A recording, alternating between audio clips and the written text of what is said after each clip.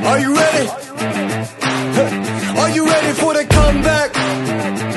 Yeah. Uh. Are you ready for the comeback? You know we the ones that ready for whatever. We gon' have to show them some, man. Let me see them hands up all the way front back. You don't understand that I'm doing what you can't with no cap. Ha! This is the return of the one. You ain't see him coming, you just heard drums. They've been ready for the battle. Any person that comes got the weight of the world on them. Yeah, they're too strong. I might have been down, not out. It's on sight, you gon' figure that out. And I might have been down, not out.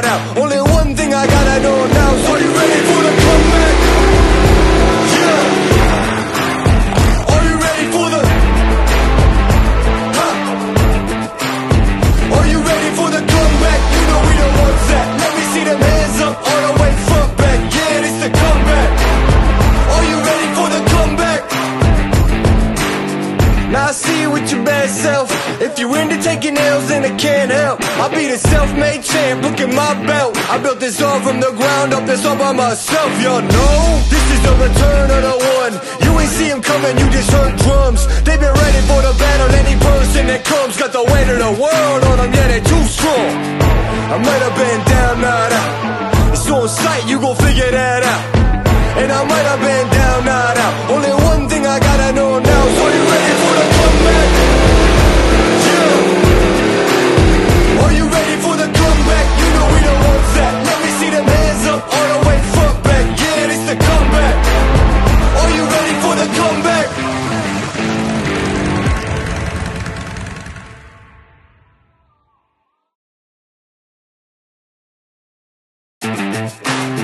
Are you ready?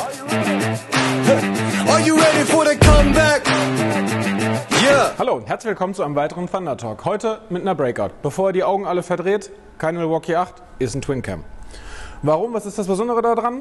Wir haben einfach unsere ganzen GP-Teile für die Twin Cams mal fertig gemacht. Das heißt, wir haben unseren Alu-Tank für die Twin Cams neu gebaut.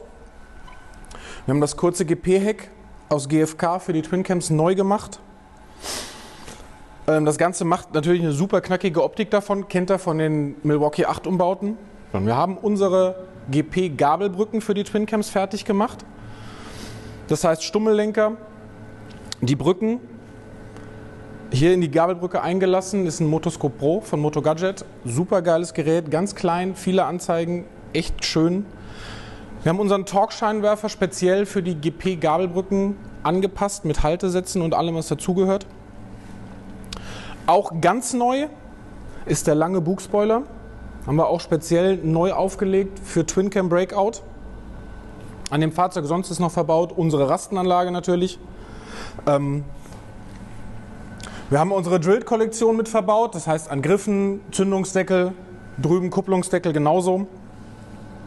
Eine Jekyll Hyde Auspuffanlage ist verbaut.